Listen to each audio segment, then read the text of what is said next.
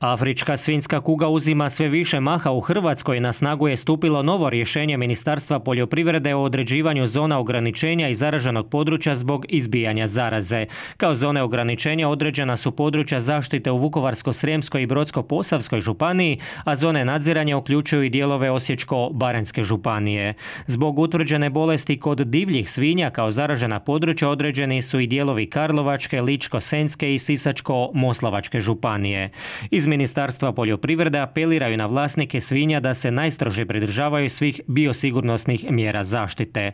Dodatno kao mjera sprečavanja ilegalnog prometa živih svinja i svinskog mesa i u cilju zaustavljanja daljnjeg širenja zaraze aktivni su punktovi s policijskim nadzorom na točkama na kojima je povećan rizik za pojavu potencijalnog ilegalnog prometa na području općina koje se nalaze u zoni zaštite.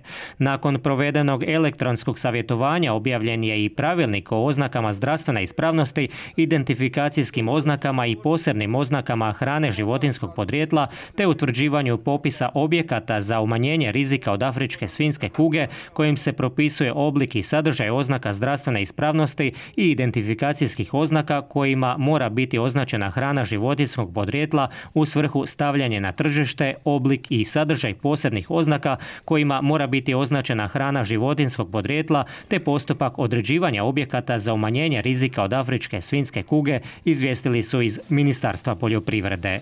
A na važnost provedbe mjera kako bi se izbjegle ozbiljnije socioekonomske i javnozdravstvene posljedice upozorila je Hrvatska veterinarska komora. Svaku promjenu zdravstvenog stanja ili uginuće svinja potrebno je, kažu, žurno i bez odgađanja prijaviti veterinaru, te je najstrože zabranjeno zakapanje uginulih životinja bez stručnog postupanja i utvrđivanja uzroka uginuća, poručuju iz veterinarske komore.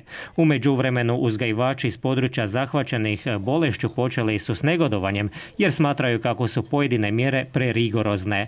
Upozoravaju kako im zabrana prodaje svinja stvara dodatne troškove i izravne gubitke u ionako neisplativoj proizvodnji.